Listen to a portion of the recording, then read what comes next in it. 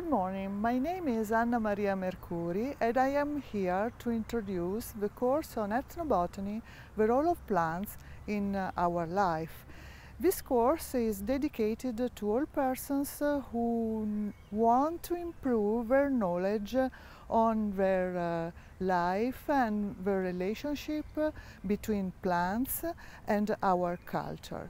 This means that uh, this is a course dedicated to students who study natural sciences or biology or cultural heritage, but also scholars and persons who want to improve uh, information about the uses of plants uh, along um, a, a, long time uh, perspective. I am a botanist, I am a biologist and I study especially palynology. This means that a great part of this course will be dedicated to my personal experience on research on archaeobotany. That means the, the use and manipulation of plants uh, useful for food, textile or buildings uh, uh along several millennia.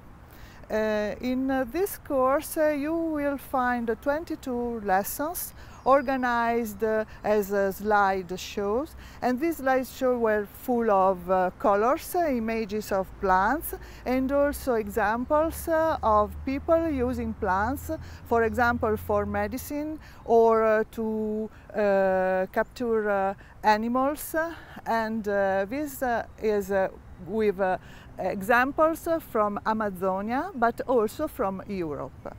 Uh, in general, uh, some titles of these lessons are, for example, uh, plants uh, from uh, the desert, um, colors uh, and smell of flowers, and also from tradition to academy.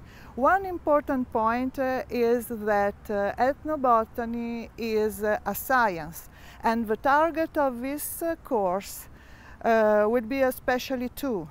One target is to demonstrate that ethnobotany is a science. And the other target is to demonstrate how truly means interdisciplinary. Because dealing with ethnobotany, we deal with uh, humans and plants.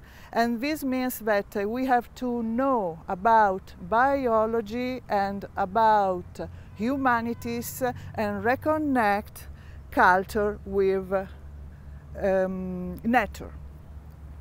Uh, the last lesson of this uh, course uh, is titled uh, The Future Trends on Ethnobotany. This is because ethnobotany is not one science, but is a changing knowledge and uh, continuously new types of investigation are uh, added to the classical uh, way to, to do this uh, uh science.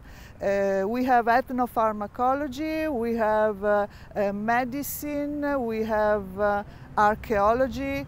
Um, in this sense, I hope that you will conclude this course by knowing more about how plants can improve our life.